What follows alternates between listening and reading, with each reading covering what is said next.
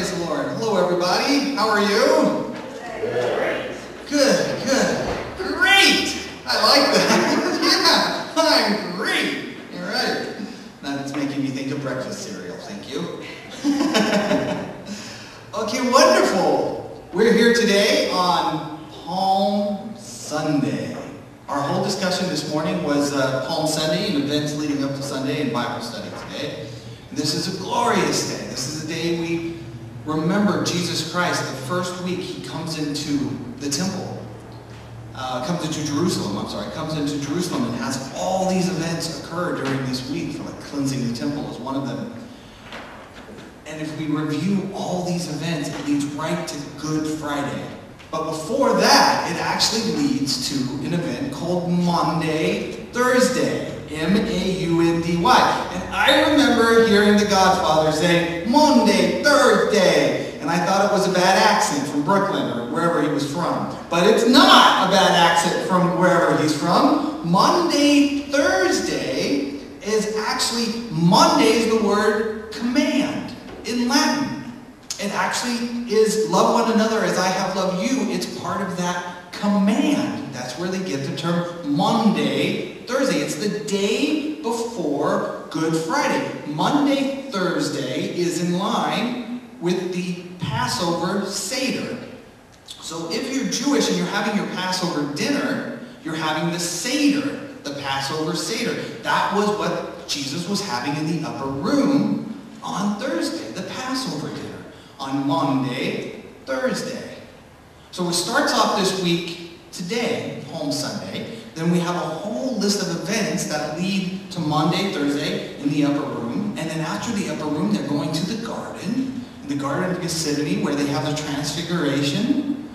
And then we have Friday, Good Friday, which then leads us on our road to Resurrection Sunday. So it's a powerful week, powerful week. I was a little disturbed. I looked yesterday in the paper, and I brought this up earlier. I don't have the paper with me.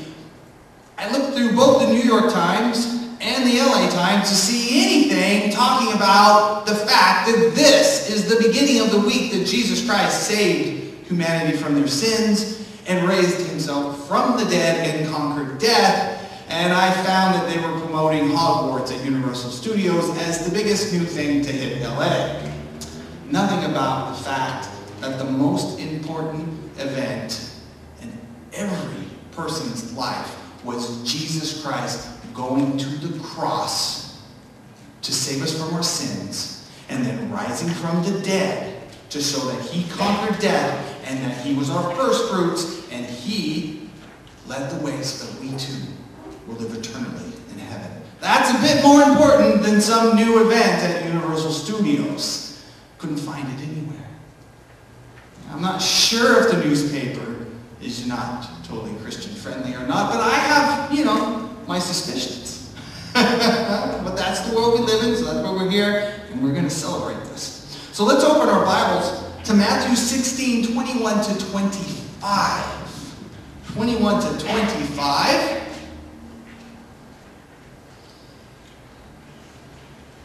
I'm watching, seeing if people are moving their Bibles. Oh, I you're already there. Oh, yes. So let's start here. It says, From that time on, Jesus began to explain to his disciples that he must go to Jerusalem and suffer many things at the hands of the elders, the chief priests and teachers of the law, and that he must be killed and on the third day be raised to life.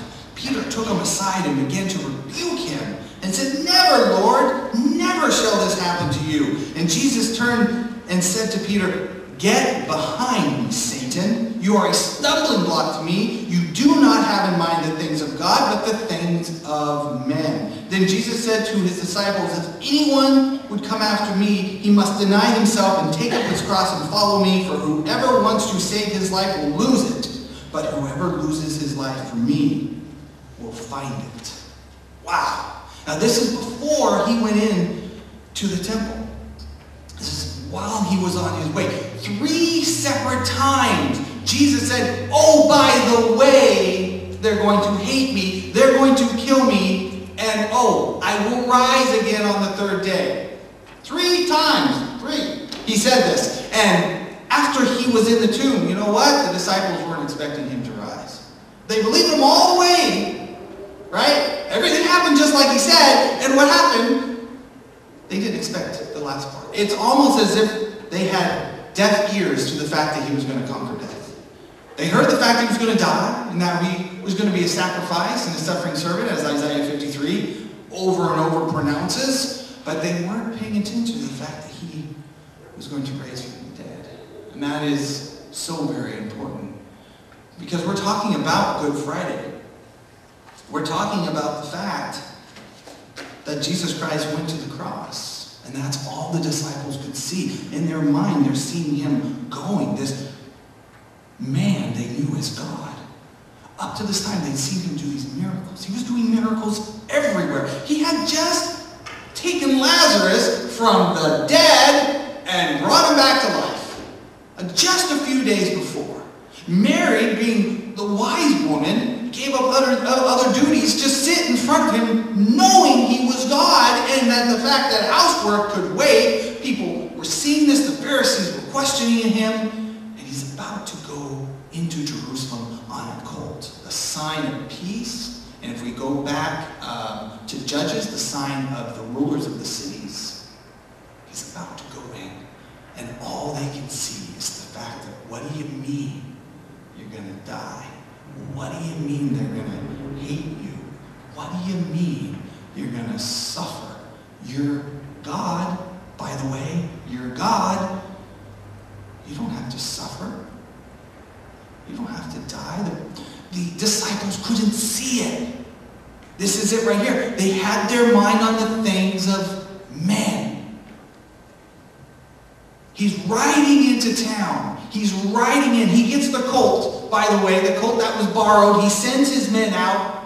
Get me a colt. It will be ready for you. And when they ask you about it, let them know it is for the master, and they will allow you to have it. Exactly as he said. They go out, the colt is there. The donkey and the colt, I'm sorry, the donkey and the colt, they say to him, What are you taking it for? They say, The master has need. And they took it. Everything that Jesus said is happening. They're seeing all this, but they still can't hear about him rising on the third day. But they do see the triumphant entry. It says in Mark 11, And many spread their cloaks on the road. In fact, this is 8 to 10. In verse 7, they're putting their cloaks on the donkey. So he has something to sit on. And then it said they spread their cloaks on the road, and others spread leafy branches that had been cut from the fields, palms. And those who went before and those who followed were shouting, Hosanna! Blessed is he who comes in the name of the Lord. Blessed is he, the coming kingdom of our father David. Hosanna in the highest. We're talking about the fact that this prophecy was being fulfilled, that he would come from the line of David. He would be of the seed of David. But he would not come from man, by the way. He did not come from man. He came from the seed of. Right back to Genesis 3.15, which we'll cover in a minute. But so they're seeing this. They're praising him. He's Hosanna. He is the Messiah, the king and the line of David. The Davidic kingdom is coming to Jerusalem. The Roman Empire is crushed, and yet he's sitting here telling us he's going to be killed. What is this? They don't know the timeline. They don't know there's one week. They're just kind of angry about it. Peter let them know. He, Peter rebukes Christ. Could you imagine saying, yes, you are the Christ, just a few days before? He said it. The Holy Spirit has said that you are the Christ. Through the Holy Spirit that you know who I am. Who do they say that I am? You are the Christ, but who do you say that I am? So he says you're God. And then a couple days later, he says, I need to correct you. Oh, by the way, yes, you're God, but I think you're wrong. Again, Peter, foot and mouth. I mentioned it this morning. I love that guy because we can put our foot in our mouth and come to Christ and say, ah, I pulled a Peter. I, I did it. It was me. I know. I made that mistake again. I made that mistake again. We all have done it. So anyways, he's coming in. And they want, sorry, you find where I'm at here. He's coming into the Jerusalem. And when we look at this, we want to break it down. We broke it down first that they're coming in Peter rebukes him. Jesus corrects him. He says, I'm about to be put to death. And then they get the donkey. The donkey is significant for peace. I'm the king. I'm come in peace. He's coming in. The people are saying that the kingdom has come. And we have a week of events which lead us up to Good Friday. Now, the, the, the message title here is Why is Good Friday so darn good? Why is Good Friday so good? Isn't that one of the most graphically horrible events in our minds that we can think about? Has anyone seen the Passion of the Christ? I mean, and that was mild. We're told in the Old Testament he was marred more than any man has ever been marred. I mean, he, you could probably not even tell who it was. He had been so torn to bits before the cross. Yet this is good. This is good because Friday, Good Friday, you know what it is? It's the road to Sunday. It's the path to Sunday. I must die, and three days later, I I will raise myself to life. Break the temple down, and in three days I will rebuild it. So Friday is good. It leads us to Sunday. In Corinthians, Paul puts it this way. He says, When I came to you, brethren, I did not come with superiority of speech or wisdom. I didn't come to you as an intelligent speaker, he says. I came proclaiming to you the testimony of God. For I determined to know nothing among you of Jesus Christ and him crucified. Paul is saying, if nothing else you learn from me, Good Friday means everything. I came to you, I preached nothing I preach nothing else but Christ and Him crucified. There's actually ministries that that is their whole tagline. I preach nothing but Christ and Him crucified. Good Friday has so much meaning. In Galatians, Paul says again, May I never boast except in the cross. May I never boast except in the cross of our Lord Jesus Christ, through which the world has been crucified to me and I to the world this event, this cross, it leads us to Sunday. On the cross, sin was broken. Our curse, our hold that Satan has on us in the sense that he tempts us to sin. He's the father of lies. He's the father of that influence. Don't get me wrong, our own heart leads us there as well. But we follow that path, and sin leads to death. Good Friday broke the law of sin and death. It broke the law of sin and death. It led to the resurrection. I'm sorry, it broke the law of sin. The resurrection broke the law of death. So Good Friday breaks sin. Sunday breaks death. Next week on Good Friday, you need to remember what's going on. This is the day they're taking our Lord and they're putting him on the cross to free us from sin. Secondly, the cross is difficult. It's difficult for them in that period of time. It's difficult for us in this period of time. It was difficult for believers and it's difficult for non-believers. They didn't like to hear about the cross. Peter, Paul, all of them. It was difficult for them. The apostles, and I'm talking about Paul later, but every time they mentioned the cross, people cringed. To the Jews, nobody could be put on a cross and make it to heaven. You were automatically damned if you were put on wood and crucified. So they couldn't look at the cross either. Religions today will take anything to twist the cross so it's not Christ who died. Continually, continually, continue. Well, it was uh, another spirit of Christ, or it was Judas, or it was a pole. It wasn't, it wasn't a cross. Because the cross is so important. Satan was defeated at the cross. Sin was defeated at the. His hold of the adversary was lost at the cross. People would say, you know, they were thinking this, this is God, he's so smart. has power and he has wisdom. Yet did he miscalculate this? With all his wisdom, did he miscalculate what was going to happen? With all his power in his time of need, he can't save himself? What did he say? He had said to Pilate, I could command an army and they would come save me of angels. But it is for this day that I was born. This is why I'm here. I'm here to die. Think about it. If you're walking with God, you're watching him do miracles. He's raising other people from the dead. And he goes, well, time for me to die. You think he's going to free your people. And he goes, oh, time to die. I'm going to suffer. Could you imagine that? Could you imagine? The Pharisees were thinking, we got to get rid of this guy. We're outside of his clique. We're not part of his crew. If he really is the Messiah, we've lost the job. Our time is up. We better deal with this.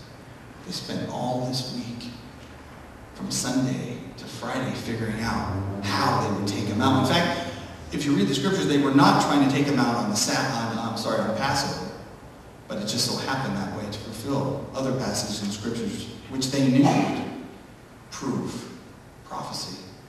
Everything happens as God plans it. There's a parable that says, unless a grain of wheat falls into the ground and dies, it abides alone. But if it dies, it produces many. Jesus Christ not only spoke these words, he lived these words. He was this parable. He fell into the ground and died. And because he was he died, he was born. And he produced many fruit. All of you who believe in him are his fruit. All of you will spend eternity with him as his children, his offspring, the fruit of Christ. Today we live in a world that sees the cross. And they usually want two things, same as it was back then. Religious-minded people are seeking miracles. They want to see power in God. They want to see miracles. Jews still seek that today. God always spoke to us in miracles. He should be still doing it today. And if he's not, I don't want to believe it. Intellectually minded people, the Greeks, like the Areopagus, they want, I want logic, I want wisdom, I want philosophy, I want truth, although they don't understand truth because they don't have God. So these people are seeking this. In fact, in Corinthians, Paul, after being at the Areopagus, says, For Jews demand signs and Greeks seek wisdom. But we preach Christ crucified, a stumbling block to the Jews and folly to the Gentiles. But to those who are called both Jews and Greeks, Christ is the power of God and the wisdom of God. The power of God and the wisdom of God. You know people were questioning both these things. They're saying, you're going to the cross, all your wisdom. You couldn't see this? You're going to the cross, all your power? Why aren't you using it? And Paul says, the cross is God's. The cross is God's power over death because he loved us. We blew it. We blew it. In Genesis 3.15, it says, I will put enmity between the man and the woman, and you will bruise his heel and crush your head. 3.15 is the proto-evangelium it's the gospel. The first time, proto means the first, the first time the gospel is preached is right after they ate the apple. Right after they were clothed. God said, you know what? The Savior is coming. He is coming. And all of the Old Testament is what we call redemptive history. In the New Testament, we see the furtherance of that redemptive history. We see God's plan to come to Good Friday. All roads in the Bible lead to, you know where it leads? The cross of Jesus Christ. That's why we have crosses. That's why we look at the cross. Our whole redemptive history that God set in place, the fact that we can say, I am saved by the cross of Jesus Christ, is not just some pithy saying we say because we've heard it in Sunday school. The reason we say I'm saved by the cross of Christ is because that blood atonement, what Christ did on the cross, conquered sin. And as soon as Christians we share that with someone, we always follow it up. But wait! Three days later, he conquered death, by the way. So not only did he conquer sin, he conquered death. Good Friday was a conquering of sin. He conquered sin. In Colossians, Paul says it this way, by canceling the record of debt that stood against us, us, man, with its legal demands that he set aside, nailing it to the cross. He disarmed the rulers and the authorities and put them to open shame by triumphing over them in him. I have a story to tell you. It's Friday night, about 6 p.m. And there's a party going on. Now, they had a party here a lot of times, but this time this party was happening. It was raucous. And it was a little bit dirty, and there was alcohol, and there was anything you could think of. And all of a sudden, the story started to spread. They thought they heard right. Are you sure? And people kept coming, and they kept coming. It got bigger and bigger. And the host would get up, and he looked very proud. And he said, it was a struggle, a long struggle. But finally, we were victorious. And they were thinking, this will never end. This will never end. Saturday, they're still living it up. And the host is just in glee. I can't believe I did this. I finally did this. Sunday morning, there's messengers coming in there. They're whispering in the host's ear. Host is like, and he sends out, he sends out some people to check it out, some of his minions to make sure. And he comes back and everyone says, it's true. All of a sudden the music stops. Silence. And the host puts his head down he screams. Christ rose and hell fell silent. Satan was defeated. That's a, it's a fun story and I like that story, but I'd like to point something out. Satan is not in hell. It's a story for us to understand how we relate to what hell would be like if it thought it had conquered. But Satan did cry out. He knew he lost. God blinded him with pride for Good Friday. Blinded him to the obvious passages in the Bible that said this would happen and would defeat death. It had started in the garden. You knew. He knew. Satan knows the Bible as better than any theologian on earth, and yet he was blind to this. He was arrogant. His pride swelled him. I can take him out. He's in human form. Ha! And all of a sudden, God lifted the blinders and said, You lost. You lost everything. He in hell fell silent. I do always like to bring it up. I love that story. It's a great story, but I will say this. Hell was made for the fallen angels, not for man. Satan's last, what should I say, his last hurrah will be the second before he's thrown into hell. He will suffer for eternity. The problem is, hell was not created for man. Man elected go there of their own free will. The angels don't have a second chance, but we do. It happened on the cross. Good Friday is great Friday. It's awesome Friday. It's the best Friday.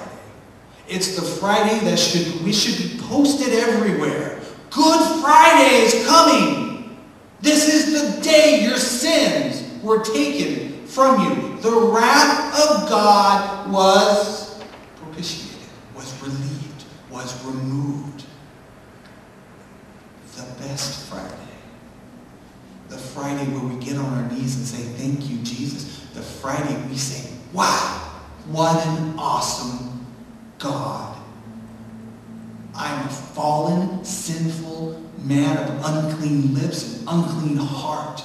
And God came down in his wisdom, in his power, in his mercy, in his grace, and suffered more than any man has ever suffered so that he could rebuild that relationship with me, a sinner. to spend eternity with Him. It's a really good Friday.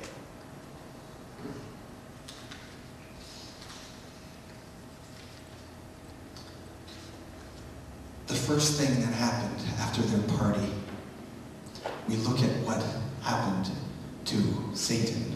And the first thing was his head was crushed. I'll read it correctly, Genesis 3.15 without paraphrasing.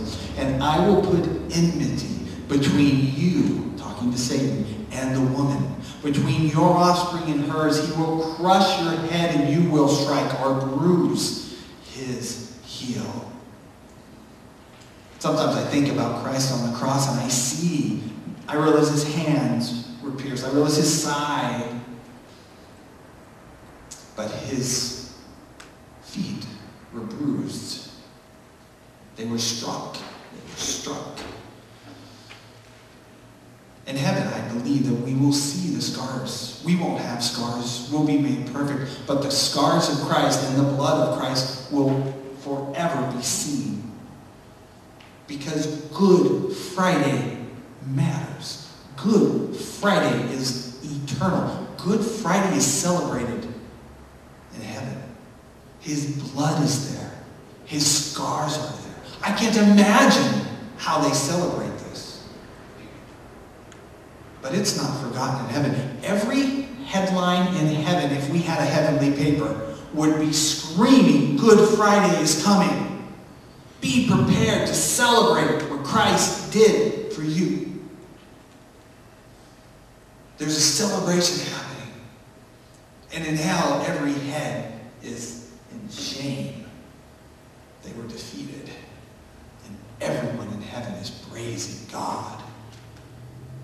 Satan's head has been crushed. The evangel- proto-evangelium, people like Spurgeon and Simeon said the sum and summary of the whole Bible is in Genesis 3.15. The whole Bible is encapsulated in Genesis 3.15. It's true.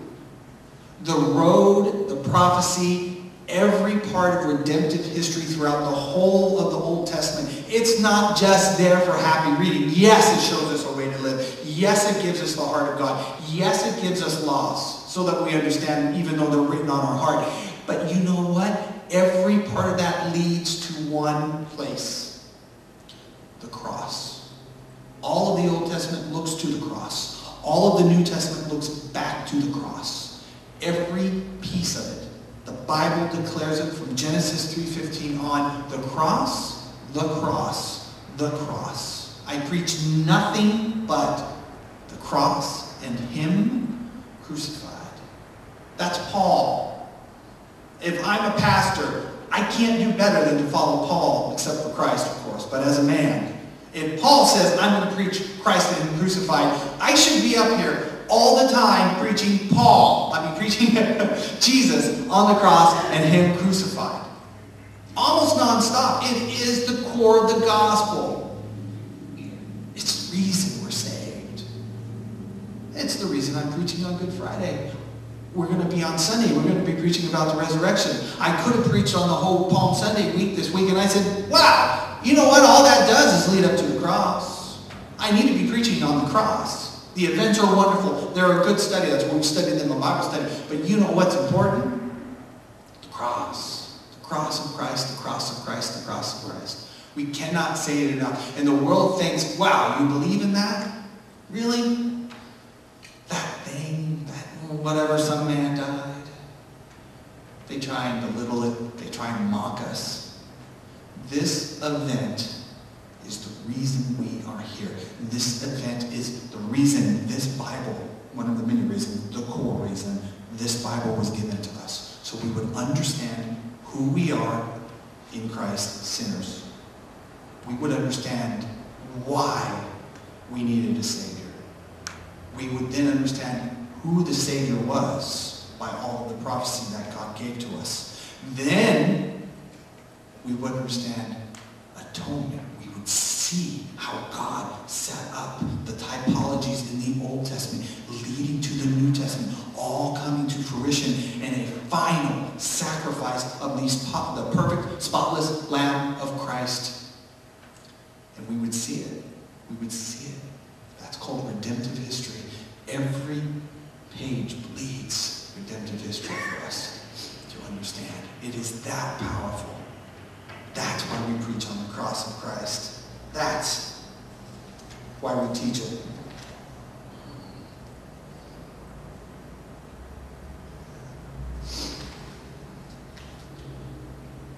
Secondly, Jesus died. He destroyed the works of the devil. People would say, what do you mean? The devil is still influencing people. What he did was render the devil powerless. He took away the steam.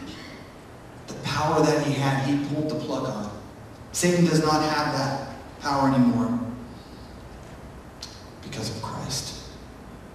Thirdly, Satan's power of death was broken forever. In Hebrews it says this, which we'll go back to studying in a few weeks. We're going to be back to Hebrews 2.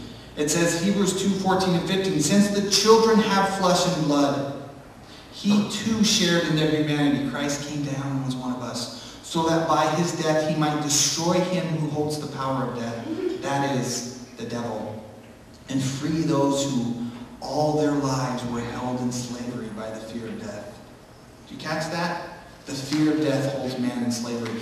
Do you realize that the people of today don't want to hear about the cross? They'd rather live in fear of death than understand that Christ defeated sin and then death on Easter Resurrection Day. They'd rather live in their fear. Think that they can have plastic surgery and that they can have transhumanism and they can be cryogenically frozen or their brain can be downloaded into a computer so that in 50 years they can be resurrected. Instead of saying, wait a minute, death was already beaten. Sin was already conquered. They're so afraid of death that they will do anything they can except look, look for the one who's already conquered it.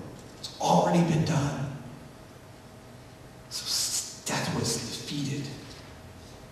I'm sorry, sin was defeated and death was defeated on Sunday. So Good Friday means the beginning of, of change, we could say. Once you get to the cross, once you understand the cross, once you grasp the cross, everything changes. As Christians, this Good Friday, we should share the cross to anyone who will listen. We'll say, hey, it's Good Friday. Do you know what that means? Go out to breakfast. Ask your waiter or waitress. If you meet somebody and you have a chance to talk to them, say, hey, it's Good Friday. Our Good Friday's coming. Do you know what that means? Sin is conquered. And the next step is death. Was conquered for you, for me, for all of us. We should share it, and we should share it, and we should share it. That should be our goal this week. I thank the Lord that when he came, not only did he say, I will die, not only did he say, I am God, but I will suffer. I will be a servant. And then he showed us how to be a servant too. So as his servants, we have a job to do. It's not to sit back and watch TV all the time. I'm saying once in a while, but not to watch all the time. Not to focus on other things. Once in a while, God will allow us to do little things for fun, but and I'm not saying he doesn't want us to have fun, but you know what? Our life should be about one thing. The little window of time he gave us, gifts he gave us, the fact that he redeemed us, the fact that he died for us. Our focus needs to be on, on Christ and the cross and what we as his servants, as he showed us in the upper room, one example, by washing our feet, by dying for us is another example. Go out there this week and share the word. Invite everyone you can to come in on Sunday. This is Easter. Their hearts might be moved to come. This is the greatest news ever. There is nothing more important than the cross and the resurrection. Nothing else. The cross beat sin. The resurrection beat death. I could say that a hundred times today until everybody walked out of here and said, I get it. Sin and death. sin and death. It's conquered. It's done. It's over. Good Friday. I'm going to finish here with uh, Galatians. It said, I am crucified with Christ. Christ. Nevertheless I live, yet not I, but Christ liveth in me. And the life which I now live in the flesh, I live by the faith of the Son of God who loved me and gave himself for me. Remember that. You're not living for you anymore. You're living for the Lord Jesus Christ every day of your life. That's why we're here. To serve him on earth and live with him forever in heaven. Praise the Lord for Good Friday. Let's pray.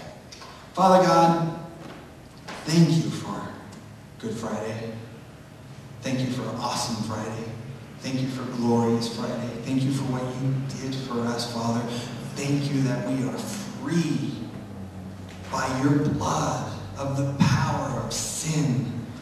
You have broken its hold on us and set us free, Father. Give us the strength to share this everybody, Father, to be your servants, to preach to all the world, to all that will hear. Move our hearts, move our feet, move our minds to give you honor, to serve you properly, and obey your commands. In Jesus' name we love and ask and pray. Amen.